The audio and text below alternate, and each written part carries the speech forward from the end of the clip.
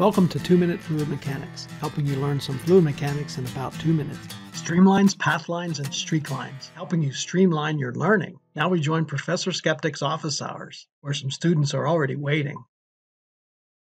You think he'll show up? I hope so. After all, it is his office hours. Hey, Arnold. Hey, Arnold. Hello, Dick and Duck. Hey, dudes. Where's Professor Skeptic? He ain't here yet. We've already been waiting 10 minutes.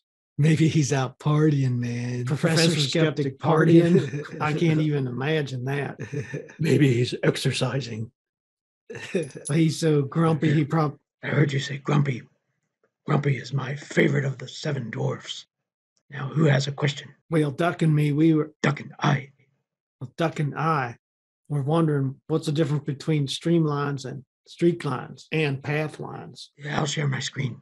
A streamline is a curve that indicates the direction of the flow at an instant in time. At that instant in time, it's tangent to the local velocity vector. It is visualized by smoothly connecting the velocity vectors. In an unsteady flow, a streamline can change its shape from one instant in time to the next. This is illustrated here at several different instances in time.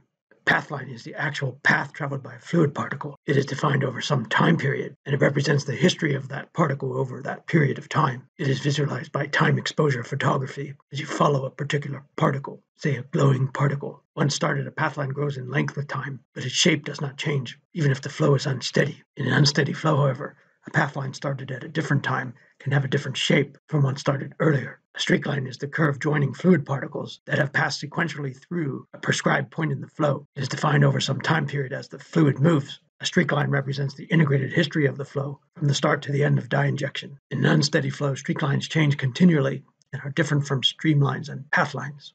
In summary, streamlines represent the instantaneous flow field, but streak lines and path lines have some history associated with them. Streak lines and path lines are easier to visualize. In steady flow, streamlines, streak lines, and path lines are all the same, but in unsteady flow, they're all different.